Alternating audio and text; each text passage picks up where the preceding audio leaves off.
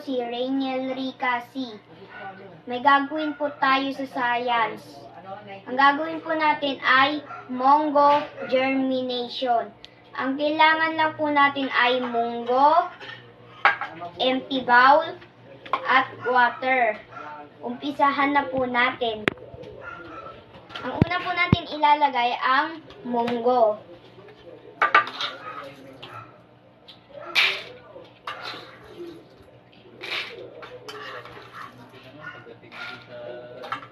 Tapos po, ang ilalagay naman po natin ang water.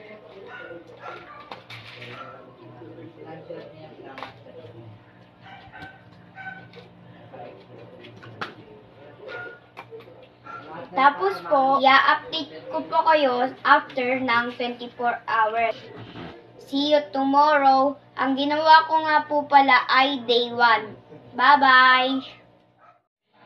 Hello po, magandang araw po. Andito na po tayo sa day 2 ng Mongo Seeds Germination.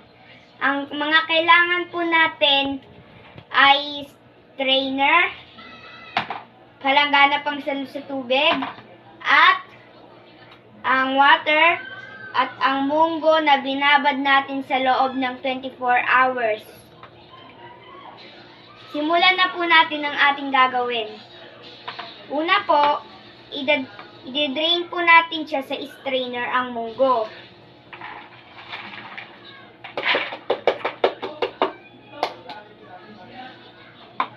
Tapos po, babanlawan naman po natin siya ng water. Ngayon po, i-drain po natin yung munggo seeds.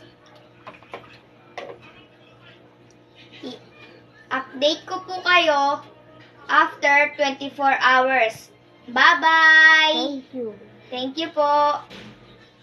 Hello po, andito na po tayo sa day 3 ng Mongo Seed Germination. Ito po ang mga kailangan natin. Munggo na pinatuyo natin sa loob ng 24 hours. Water. Empty container. At bulak. Ang una po natin gagawin ay lagyan po natin yung empty container ng bulak.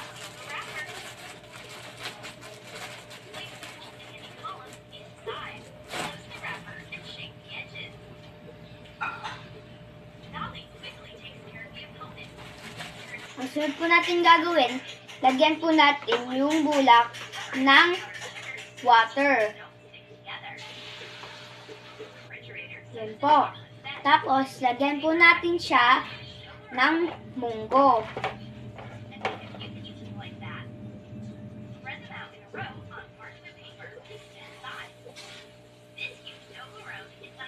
Ayan po. Tapos, ibilad po natin siya sa arawan sa loob ng 24 hours. Bye-bye po. Thank you po. Hello po. Magandang araw po. Nasa day 4 na po tayo ng Mongo Seeds Germination. Ito po ang mga kailangan. Spray bottle with water. Mongo, mongo seeds na pinatuyo natin sa araw sa loob ng 24 hours. Isprayan na po natin siya. Ngayon po, tapos na po natin siya diligan. Ipapakita ko po kung anong tsura ng day 4 po natin. Ayan po, may mga dahon na po siya. Tsaka stems. Yan po. Update ko na lang po kayo after 24 hours. Bye-bye po!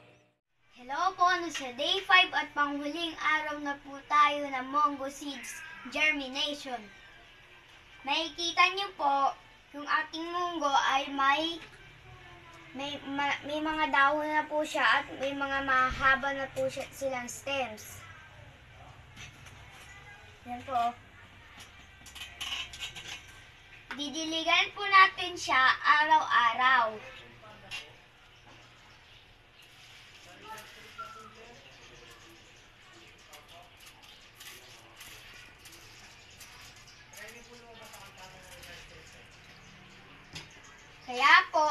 ating munggo seeds germination ay successful. Salamat po sa pagsubaybay. Bye-bye!